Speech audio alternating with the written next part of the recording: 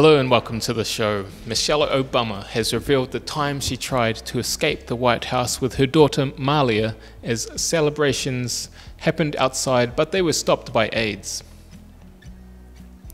The former First Lady explained how she was at home when the US Supreme Court legalized gay marriage in 2015 and the White House had been lit up in the LGBT colors, but Michelle was watching it on TV. She realized she wanted to go outside and celebrate with everyone, but Barack and Sasha didn't want to join, only Malia. Michelle revealed she ran away from aides who called on more people for help. As they said, she's trying to get out. Speaking on the Ellen show, Michelle said, We were having dinner and we knew that there was a celebration happening, but we didn't realize that thousands of people were gathered in front of the White House at the time. Everybody was celebrating. People were crying, and I thought I want to be in that. Also, we had worked to make sure that the White House was lit up in the LGBT colors.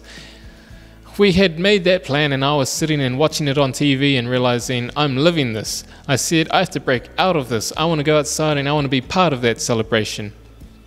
Michelle went to all members of her family, starting with Barack, who was working in his office at the time. He said, had too much work to do and he couldn't just walk outside. Sasha also declined Michelle's invitation, but Malia joined as the pair were determined to get out. Michelle continued, We're trying to get out of the White House and realized it's not that easy to get out when you're in it, but we were determined. I said, We are not listening to anyone. We're going to walk out that door, you and me. So when you come out of the residence and there's an elevator, there's usually an agent right there. When you come out, they whisper our code names and they know we're moving. So we rush down the stairs and you can see the agent thinking, why are they running? He doesn't quite know what to do, so he starts following us. We go to the front door and it's locked. Now there are many people behind us the uniformed policemen, the usher who's in charge of the house, and they don't know what to do. They're calling in more people and, so, and say, She's trying to get out. Then the usher says, Ma'am, if you walk out there, you'll be on camera in front of the nation.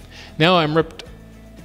Now I'm in ripped up shorts and t-shirt, no shoes on, no makeup, and I thought, hmm, you have a point. Thank you.